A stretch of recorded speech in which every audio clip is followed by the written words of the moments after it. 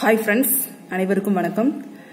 இந்த வீடியோவில் நம்ம பார்க்க போகிறது எண்டோகிரைன் சிஸ்டம் வந்து ஃபுல்லாக நாம் பார்க்க போகிறோம் அதுக்கு முன்னாடி எங்கள் சேனலுக்கு சப்ஸ்கிரைப் பண்ணலை அப்படின்னா மறக்காமல் சப்ஸ்கிரைப் பண்ணிக்கோங்க. வாங்க பார்க்கலாம்.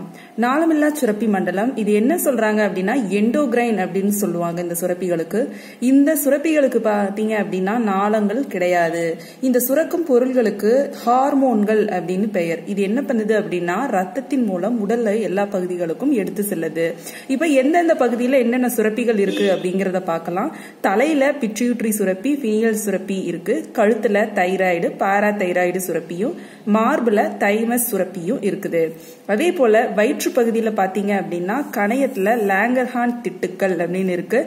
அட்ரினல் சுரப்பி அதே மாதிரி இனப்பெருக்க சுரப்பிகள். இந்த அட்ரினல் சுரப்பில பாத்தீங்க அப்படின்னா அட்ரினல் கார்டெக்ஸ் அட்ரினல் மெடுலா அப்படின்னு சொல்லுவாங்க. இனப்பெருக்க சுரப்பிகள்ல பாத்தீங்க அப்படின்னா ஆண்கள்ல விந்தகமும் பெண்கள்ல அண்ட சுரப்பிகளும் இருக்குது. இப்போ நம்ம ஹார்மோன்களை பார்க்கலாம். ஹார்மோன்கள் பார்த்தீங்க அப்படின்னா அது எப்படி இருக்கும் அப்படின்னா புரதங்கள் அல்லது ஸ்ட்ரீராய்டுகளாகவோ இருக்கு அப்படின்னு சொல்லலாங்க.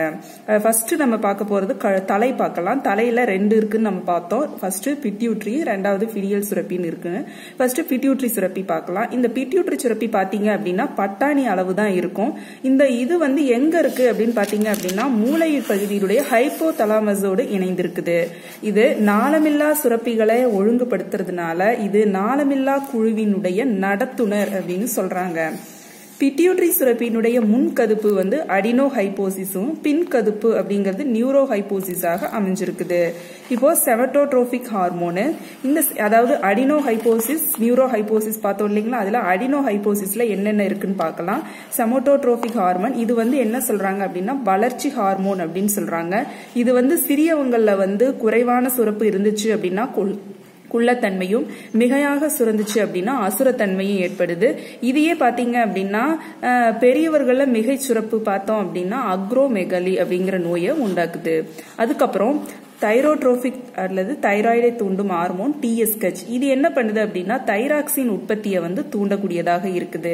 அடுத்து அட்ரினோ கார்டிகோட்ரோபிக் அல்லது அட்ரினல் புரணியை தூண்டும் ஹார்மோன் ஏசி டிஹெச் அப்படின்னு சொல்றாங்க. இது ஆல்ஸ்ட்ரோஜன் அல்லது கார்டிசோன் உற்பத்தியை வந்து நம்ம உற்பத்தி செய்யறதுக்கு வந்து தூண்டக்கூடிய ஹார்மோனாக இருக்குது.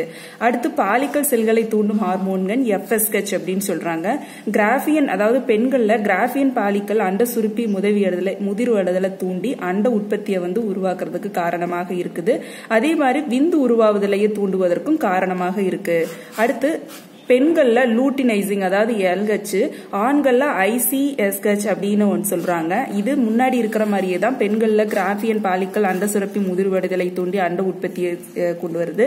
அதே மாதிரி ஈஸ்ட்ரோஜன் புரோஸ்ட்ரோஜன் பெண்ணின ஹார்மோனை உற்பத்தி செய்யுது. ஆண் ஆண்கள்ல டெஸ்ட்ரோஷன் உற்பத்தியை வந்து தூண்டக்கூடியதாக இருக்குது.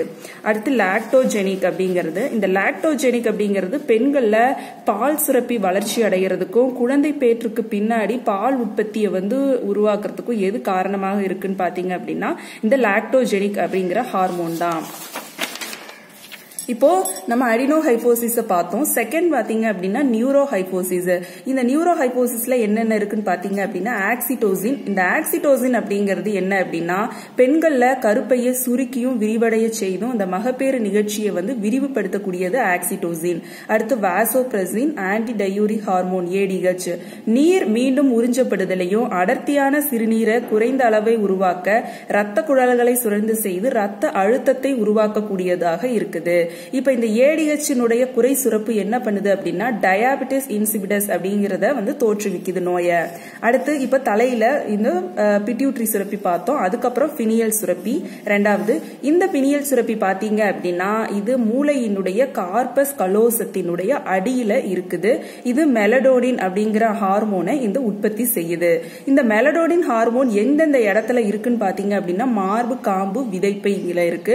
இது என்ன பண்ணுது அப்படின்னா அந்த நிரம்பிகள் செல்களுடைய அடர்த்திக்கு வந்து முக்கிய காரணமாக இருக்கிறது எது அப்படின்னா இந்த பினியல் சுரப்பி அதாவது மெலடோனின் ஹார்மோன் அப்படிங்கிறது தான் சரிங்களா? ஸோ இந்த வீடியோ உங்களுக்கு யூஸ்ஃபுல்லாக இருந்திருக்கு நினைச்சுக்கிறேன் நினைக்கிறேன். ஸோ இந்த வீடியோ உங்களுக்கு பிடிச்சிருந்துச்சு அப்படின்னா மறக்காம சப்ஸ்கிரைப் பண்ணிக்கோங்க. தேங்க்யூ